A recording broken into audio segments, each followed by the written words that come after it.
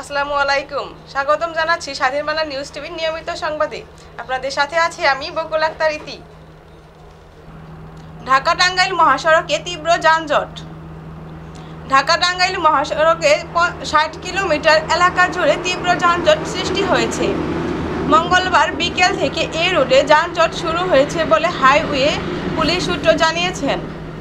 যানজট শুরু হয়েছে বলে হাইওয়ে বুধবার ওই মহাসড়কের বিভিন্ন পয়েন্টে গিয়ে দেখা গেছে তীব্র যানজট। ফলে চরম দুর্ভোগের শিকার হতে হচ্ছে যাত্রীদের। মির্জাপুর থানার officer in charge Mohammad Saidur Rahman বলেন, করোনা ভাইরাসের কারণে দীর্ঘদিনের ছুটি। একদিকে রাস্তা ভাঙাচোরা, অপরদিকে মহাসড়কে যানবাহনের চাপ বেড়ে যাওয়ায় যানজট সৃষ্টি হয়েছে। তবে যানজট নিরসনের জন্য পুলিশ থানা ও হাইওয়ে পুলিশ নিরলসভাবে কাজ করে যাচ্ছেন।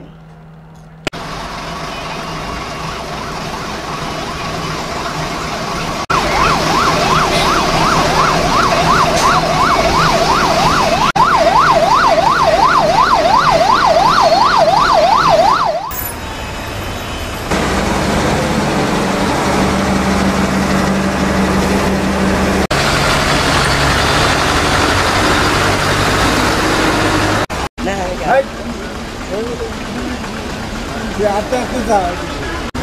Evet.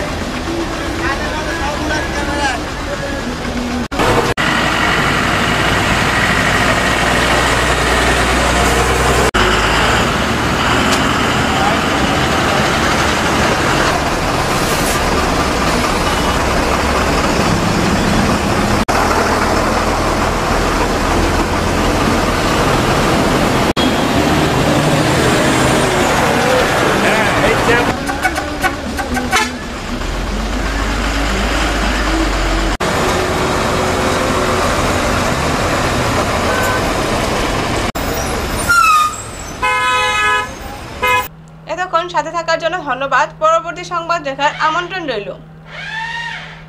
আমাদের সংবাদটি ভালো লাগলে অবশ্যই লাইক কমেন্ট এবং শেয়ার করুন এবং আমাদের চ্যানেলের চ্যানেলটি সাবস্ক্রাইব করুন।